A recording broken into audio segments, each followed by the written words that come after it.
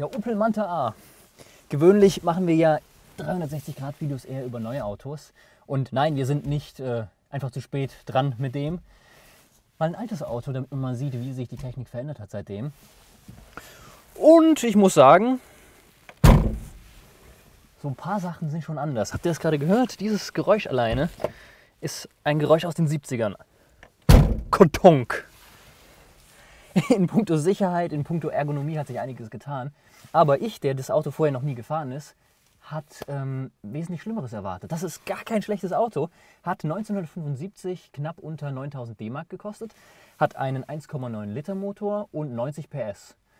Und das ist, das ist fantastisch. Das Getriebe, ich demonstriere das mal, ist noch super präzise. Das ist natürlich ein Opel-Auto, also piekfein restauriert. Aber trotzdem, die Gänge lassen sich super schön wechseln. Erster, zweiter, dritter. Ist gar nicht so undefiniert, wie ich das erwartet habe. Und ähm, die Wege sind halt ein bisschen länger. Ja. okay, der zweite kommt fast bis an die Handbremse. Äh, ja, da sind so ein paar Sachen, äh, die sind eindeutig anders inzwischen. Der Innenraum, sehr schön, mit diesem Stoff hier. Sitze total bequem haben hm, keinen allzu großen Seitenhalt. Aber wenn ich das jetzt mal vergleiche mit äh, beispielsweise einem BMW aus der gleichen Zeit, die waren gar nicht so anders. Also dieses Gefühl, was man heutzutage vielleicht hat, dass BMW Premium ist und Opel nicht, das kann ich hier gar nicht so fühlen. Also damals subjektiv waren diese beiden Hersteller schon nah beieinander, so was Innenraumgestaltung und auch Ergonomie angeht.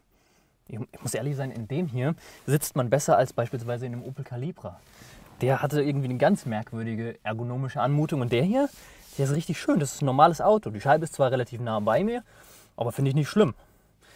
Wo man aber dann merkt, dass es immer noch ein altes Auto ist, hinten.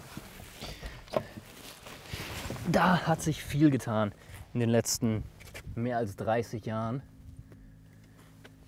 Das ist nämlich eng. Also sowas würde man wahrscheinlich nicht mehr zumuten. Oder wohl, 911 hat auch nicht so viel Platz hinten. Ne? Vielleicht ist das dann einfach das, was man sportlich nennt. Das hier ist ein bisschen eng, aber für alle BMW E30-Fans beispielsweise, wenn ihr da mal in dem Zweitürer hinten gesessen habt, das hier ist wesentlich besser als in einem E30. Da sitzt man so drin und hier oh, schaut man nur ein ganz kleines bisschen an der Dachkante.